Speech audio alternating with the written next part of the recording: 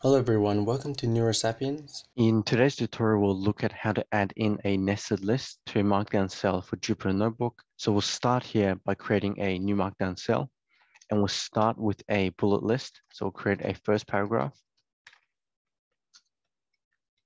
And so if we run this, we have a bullet list here, first paragraph. So we can then nest this by adding in either four white spaces or single tab space. And here bullet list and numbered list can be mixed together.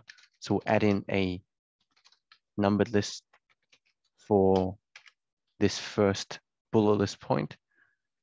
So it's first subparagraph, second subparagraph, and third subparagraph. So once we run this, we now have where the outer list is a bullet list and then the inner nested list here is a numbered list.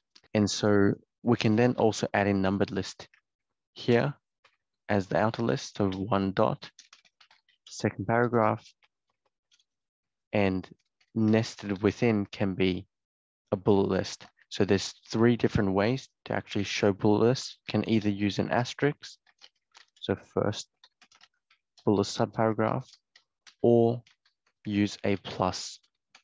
So second bullet subparagraph. And then the third option is to actually use a hyphen.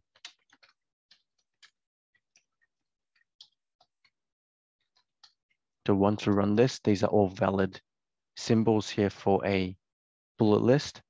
So we now have three different nested contents here. And so one more option for an outer list is to use a bracket. So this will actually create a numbered list. So we're going to create third paragraph. And nested within, we can have one subparagraph, but also a second subparagraph. And then there can actually be another nested layer within this first nested list right? So to do that, we just need to add in another tab space and then add the contents for the next layer here. So we'll add in another subparagraph here. So once we run this, we now have another nested layer here for the already nested list. So this is how to add a nested list to Markdown cell for Jupyter Notebook. If you found this tutorial helpful, please give it a thumbs up subscribe and click the notification bell for weekly videos.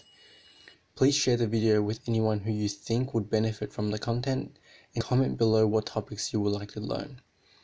If you would like to support this channel and have the means to do so, the best way will be via my Patreon link in the description below. Happy learning and I'll see you in the next tutorial.